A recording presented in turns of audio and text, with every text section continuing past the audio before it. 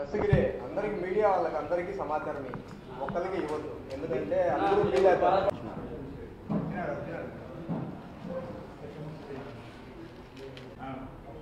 అది ఇదంతా ఇది చేయనాక కండువా వేసుకొని మాడదాం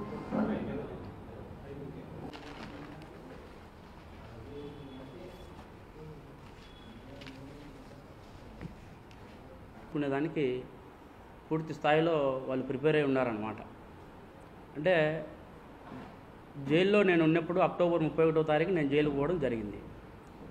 అది జరిగిన తర్వాత నవంబర్లో బీటెక్ రవి గారు జైలుకు రావడం జరిగింది.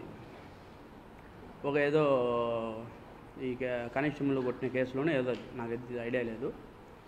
ఆయన వచ్చినప్పుడు ఎవరైతే సూపర్నెంట్ జైలుకు సంబంధించిన సూపర్నెంట్ గారు ఉన్నారో వాళ్ళు సపరేట్ సపరేట్గా అంటే నన్ను ఒక గదిలో పెట్టి ఆయన ఒక గదిలో పెట్టి ఇంట్రడక్షన్స్ ఇచ్చినారు.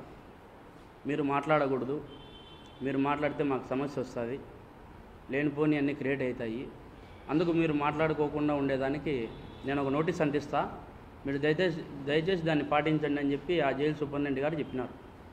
ఆయన పేరు కూడా ప్రకాష్. ఆయన ఆ విధంగా చెప్పినప్పుడు నోటీస్ కూడా అతికిచ్చాడు అక్కడ జైల్లో కల కలవనేకోకుండా. అంటే అనుమానితుడుగా అనుమాతి అనుమానితుడుగా ఉన్న బీటెక్ రవి గారినే కలవద్దు మాట్లాడకూడదు మీరు అని చెప్పినప్పుడు దేవరెడ్డి శివశంకర్ రెడ్డి గారి కుమారుడిని చైతన్య రెడ్డి గారిని ఎట్లా అలౌ చేస్తారు లోపలికి? ఏ విధంగా అలౌ చేస్తారు? అంటే వాళ్ళకి తెలియదా ఎవరు ఎవరు లోపల ఉన్నారు ఏం కథ అనేది?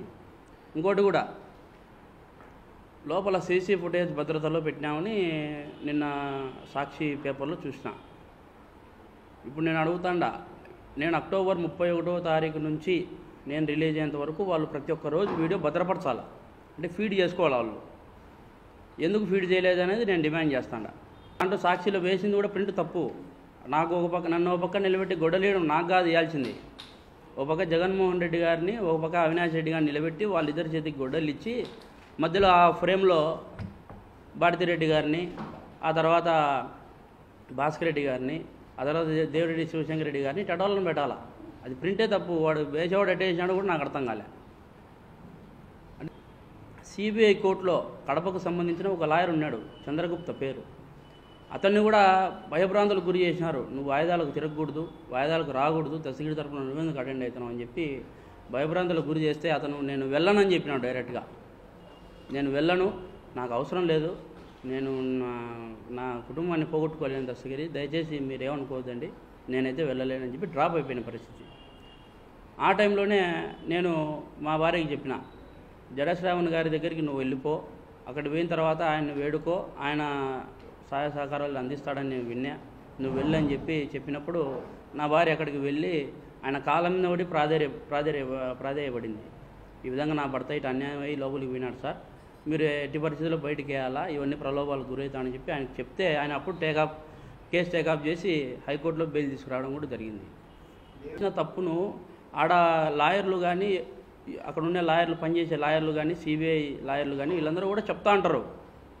దాన్ని బట్టి జడ్జి గారు మూవ్ అవుతారు తప్ప ఇవన్నీ కూడా ఎందుకు పరిగణలోకి తీసుకుంటారు? ఒకవేళ అతను అట్ట బయటికి రాకుండా ఉండాలని అనుకుంటే నేనే పోతా కదా కోర్టుకు నేనే పోయి సార్ ఆయన పిటిషన్ ఈ విధంగా వేసిండు నేనే నేనే వేస్తా పిటిషన్ ఆ విధంగా. అతనితో నాకు ఇబ్బందులకు గురి గురి చేస్తాడు ఈ విధంగా నన్ను ప్రలోభాలకు గురి చేస్తాడు ఈ విధంగా ఇది చేస్తారని చెప్పి అది కూడా చేస్తాను నేను. ఖచ్చితంగా కోర్టుకు పోతాను నేను ఈ విషయంలో కూడా.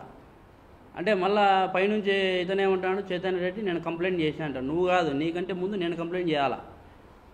అది ఈరోజు ఇస్తా ఎస్పీ గారిని కూడా కలిసి ఈరోజు ఆయన కూడా వాస్తవాలు వివరించి ఆయన కూడా నేను ఈరోజు కంప్లైంట్ ఇవ్వడానికి కడపకు రావడం జరిగింది. అట్లనే ప్రెస్ ప్రతి ఒక్క అంశాన్ని కూడా నేను చెప్తా. ఒకవేళ దేవిరెడ్డి శివశంకర్ రెడ్డి నన్ను కలవకోకుండా ఉంటే వాళ్ళు ఒక లెటర్ రాయించినారు ఎవరు? జైలు అధికారులందరూ కలుసుకొని. సూపరింటెండెంట్ వారు వాళ్ళందరూ కలుసుకొని ఒక లెటర్ రాయించినారు అంటే ఫస్ట్ రాయమని ఏం చెప్పిందంటే నా భార్యకు మతి సీమితం లేదు. నేను జైలుకు వచ్చిన కారణంగా ఆయన ఆ పాప అప్సెట్ అయింది. మతి సీమితం లేక ఆ పాప ఏం కావాలంటే చెప్తా ఉంది. దయచేసి ఆ విధంగా చెప్ ఆ విధంగా మీరు పరిగణలోకి తీసుకోవద్దండి. ఇంకోటి కూడా ఏంటంటే మీడియా మీడియా మిత్రులు కూడా ప్రతి ఒక్కరు కూడా తప్పుదో పట్టిస్తూ ఉన్నారు అని చెప్పి ఈ విధంగా రాయమన్నారు. దాన్ని నేను పూర్తిగా ఖండించిన. అది ఖండించిన దానికి కూడా సూపరింటెండెంట్ వారు ఏమన్నారంటే నీకు ఇంటర్వ్యూలు కట్ చేస్తాము. నీకు ఫోన్ అంటే ఇంటర్వ్యూలు అంటే ములాఖతులు. ములాఖతులు కట్ చేస్తాము. ఫోన్లు కూడా పోకోకుండా నీకు కట్ చేస్తాము. నేను ఒక పనిష్మెంట్ గది. ఆల్రెడీ నేను ఉండేది పనిష్మెంట్ గదిలో. వాళ్ళు చెప్తా అంటారు ఒక సపరేట్ సెల్ ఇచ్చి పెట్టినామని చెప్పి. సపరేట్ సెల్ అంటే ఎట్లా ఉండాలి అది? ఎట్లా ఉండాలి అది? ఎవరైనా జైల్లో కొట్టుకుంటే ఎవరైనా వాయిదాలకు పోయినప్పుడు ఇవాళ చైన్ తెంపుకొని పారిపోతే బేడీలు అట్టటోళ్ళకు వేసే పనిష్మెంట్ దాంట్లో నన్ను వేసినారు. కనీసం రిమాండ్ ఖైదీగా కూడా నన్ను చూడలే. కదన్నా ముందు కృష్ణారెడ్డి అమ్ముడు పోయినాడు. ఫస్ట్ కృష్ణారెడ్డి అమ్ముడు పోయినాడు. ఇంకోటి చెప్పాల్సిన విషయం ఏంటంటే ఒకవేళ సునీత గారు కానీ రాజశేఖర రెడ్డి గారు కానీ చేయిస్తే సిబిఐ సంస్థను నా కోర్టును న్యాయస్థానాన్ని ఎట్లా ఆశ్రయిస్తారు వాళ్ళు? అంటే వాళ్ళ విందుకి పోదు అది. వాళ్ళు నిజాలన్నీ బయటకు తీసేటప్పటికీ అంటే సంస్థను మెయింటైన్ సంస్థను మెయింటైన్ చేసే కెపాసిటీ సిబిఐని మెయింటైన్ చేసే కెపాసిటీ న్యాయస్థానంలో మెయింటైన్ చేసే కెపాసిటీ వాళ్ళకు ఉందా ఎవరు ఉండేది ప్రభుత్వంలో? ఎవరు కేంద్రానికి పోయి కాళ్ళు మొక్కుతాండేది? ఇక్కడ ఎంక్వైరీ వీళ్ళ వాళ్ళని పిలిస్తే అవినాష్ రెడ్డిని పిలిస్తే అప్పుడే ఫ్లైట్కి పోయి అక్కడ కూర్చొని కాళ్ళు పట్టుకోవడము ముక్కోవడము అవన్నీ చేస్తూ ఉంటారు అది పూర్తిగా గుర్తించాలనేది కొడుతుండ నేను చేసిన తప్పు దాన్ని ప్రాయశ్చితంగా పశ్చాత్తాపడి అప్రూవర్గా మారినా. ఎందుకు అప్రూవర్గా మారినా? నేను చేసిన తప్పు కాబట్టి. ఎందుకంటే నేను ఒకప్పుడు ఆయన దగ్గర నేను డ్రైవర్గా పని చేసిన. ఆయన కూడు తిన్నా. ఆయన పెట్టిన రూపాయి రూపాయి నేను తీసుకున్నా. కానీ నేను వీళ్ళతో చేతులు కలపడం అది తప్పే. నేను కాదని చెప్పలే. డబ్బు కోసం నేను పోయి చేసిన తప్పే. తర్వాత త తప్పుని తెలుసుకొని పశ్చాత్తాపడి అప్రూవర్గా మారినా అయితే నాకు ఐడియా లేదన్న. అంటే అది ఫుల్ తాగి ఉండాము. ఆ టైంలో ఎవడు వీడియో కాల్ చేస్తున్నాడు ఎట చూస్తాం? అంటే మేమేంది సినిమాకి కాదు కదా. సినిమాకి కాదు కదా మేము పోయినది. ఆయన హత్య చేసేదానికి పోయినాము. ఆ మూమెంట్లో ఎవడేం చేస్తున్నాడంటే మాకెట్ అర్థమవుతుంది? అర్థం కాదు కదా. పూర్తి స్థాయిలో వివేకానంద రెడ్డి గారి అభిమానులు ఎవరైనా కానీ నాకు మద్దతు ఇవ్వాల్సిందిగా కోరుతాండా. అంటే పూర్తి స్థాయిలో నేను ఈ పొద్దు పులిందుల్లో ఏ స్టేజిలో నేను క్యాండిడేట్గా నిలబడతాను అనేది మీ అందరి దృష్టిలో పెడతాండా. అప్రూవర్గా మారినాం కదన్నా. ఓటు అడిగే హక్కు ఉంది అంటే మీరు అడిగిన క్వశ్చన్కు కరెక్టే. సరే మరి జగన్మోహన్ రెడ్డి గారు వివేకానంద రెడ్డిని మా చేత హత్య చేయించాడు. అతనికి ఓటు హక్కు అడుగుందా. ఓటు అడిగే హక్కు ఉందా. చెప్పండి ఓటు అడిగే హక్కు ఉందా? పులిందులో నిలబడే హక్కు ఉందా? నేనన్నా మర్డర్ చేసి ఈ విధంగా అప్రూవర్గా మారి నైనా నేను చెప్పింది వాస్తవాలు నాయనా నేను అబద్ధాలు చెప్పలేదు. ఇది ఉండేటోళ్ళు వీళ్ళు చంద్రబాబు నాయుడు గారి చడవలు కాదురా నాయన వీళ్ళు ఉండేది అని చెప్పి వాస్తవాలు చెప్పినందుకు ఇప్పుడు ఖచ్చితంగా ఓటు అడుగుతా నేను. అది చేసిన జగన్మోహన్ రెడ్డి గారిని ప్రశ్న వేయండి మీరు నన్ను కాదు వేయాల్సింది.